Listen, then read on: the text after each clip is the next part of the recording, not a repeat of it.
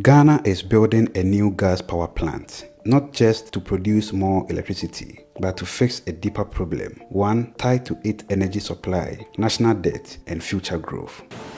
We need to have a second gas processing plant as soon as possible. And I believe that the technical committee will be able to finish their work in time for us to commission a contractor or a business to be able to build the second gas processing plant.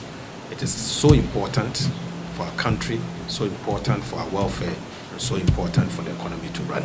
Currently, we have a gas deficit of about 100 mm And so we are compelled to buy very expensive liquid fuels to fill that gap.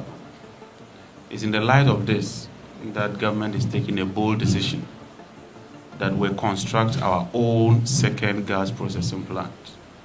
That can give us savings of close to $500 million every year. To understand why this plant is so important to the country, let's first look at how Ghana produces its electricity. Ghana's energy comes from three main sources. First, hydro, from dams like the Akosombo and Bui. This makes about 36% of the country's electricity. Next, is thermal plants, which burn gas, diesel, or crude oil. These supply around 63% of the country's power. And finally, renewables like solar. These account for just 1%, but they are slowly growing. In the past, Ghana relied heavily on hydro, but with rainfall becoming less predictable, hydropower is no more reliable. That pushed the country towards thermal plants that run on imported fuel. The problem, they are expensive, polluting, and unstable when prices go up. Thankfully, Ghana discovered natural gas off its coast, and in the year 2015, it made a big move. It built its first gas processing plant at Atuabo. The Atuabo plant takes raw gas from offshore fields cleans it and sends it to thermal power stations. Since then, it's been a game changer. It saves Ghana over $300 million a year on fuel imports and it helps keep the lights on in big cities like Takoradi and Accra. But now, demand is rising again. Ghana needs more power and it needs it fast. That's why the government is building a new gas power plant. This new plant will generate over 400 megawatts of electricity. That's enough to power more than 1 million homes. It will run on local gas, which means it will be cheaper, more reliable, and less polluting than oil-based power plants. There is another issue. Ghana's energy sector is buried in debt. As of 2024, it owes over $1.5 billion to power producers and fuel suppliers. These include companies like Sen Power, Sunon Asogli, Karpowership, and AKSA Energy. Some of them have even threatened to shut down because they are not getting paid. 24 billion cedis in energy sector, uh, either you call it subsidies, under recoveries or shortfalls. This year, it is estimated at over 30 billion in terms of the shortfall. Yesterday, we had a session with the finance minister, and a lot of the people here were there. We require about $1.1 billion to procure liquid fuels alone. Unfortunately, and the PRC is here, the liquid fuel is not part of the tariff structure. And so you will be buying close to $15 billion of liquid fuel, and that has to be paid by the central government because it's not part of the tariff structure. As if that is not enough, what you call the reserve margin, which is a necessity, because you just don't bring plants to meet exactly what you consume. What if one plant goes off for maintenance or any situation? That is not also part of the tariff structure. More importantly, the tariff itself, ECG is unable to collect all the monies. And so you're having a deficit of about 2 billion cedis every month when it comes to ECG's collections.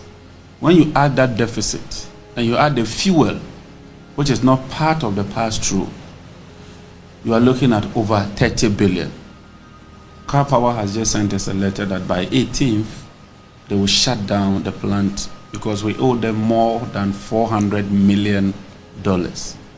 IPPs alone, we owe them $1.7 billion. And so it's serious. The problem is simple. The government buys electricity at high cost and sells it to consumers at a lower price. And when consumers don't pay, the system bleeds money. The new gas plant will help solve that. It will use cheap local gas, reduce pressure from oil imports, and stabilize power grid. How life would have been for the Republic of Ghana without the gas processing plant one, the Atuabo gas. In fact, um, without the Atuabo gas, Ghana would have been in a deep trouble. The fiscal drain, the economic drain, the tariffs that we'll be paying wouldn't have been easy at all. But unfortunately, when we were leaving office in 2016, we had enough gas to be able to power the entire power plant and even excess. But nothing has been done since we left, uh, only for us to return to see a major, major, major shortfall in terms of gas supply to power our gas processing plants, uh, our, our power, uh, our thermal plants. Today, after our exercise, it came to us as a shock that Ghana requires at least 1.1 billion dollars annually to buy light crude oils, heavy fuel oils, and other diesel fuel oils to be able to power our thermal plants. Yet, the consumer is not paying for this kind of fuel. And it means that the Ministry of Finance will have to look for money to fund this amount. And the shortfall is quite a lot. $1.1 billion is today's exchange rate. You are talking about 15 billion. 15 billion cedis. This 15 billion cedis is about three and a half times the goods and services we use to run the entire government machinery. Three and a half times. And so the problem as we see is far bigger than what the country can accommodate. This simple means that we have to, we have to fast track this gas processing plant too. And you are right. Two years of savings will be enough to repay this gas processing plant. And I'm surprised to hear that the previous administration after so many years of talk, were unable to begin the process of acquiring a second gas processing plant. Honorable Minister, I want to also use this opportunity to urge the technical committee to expedite action and for us to quickly resolve the concerns that have raised. We need to have a second gas processing plant as soon as possible. And I believe that the technical committee will be able to finish their work in time for us to commission a contractor or a business to be able to build a second gas processing plant. It is so important for our country, so important for our welfare, and so important for the economy to run. And so I want to use this opportunity to thank you for your leadership and to thank the committee members that, we are inaugurating them here. And also to urge them that please enough of the bureaucracy. Let's get to work and let's resolve the issues as soon as possible. I don't know, Minister, if you are giving them some timelines, but I think a month or two should be enough. A month or two should be enough for them to finish their work, and um, I'm sure you'll be able to. I'll give them a month. So, that's so if we give you a month, I'm sure, um, Chair, uh, a month should be enough take less tea and a little bit more biscuit.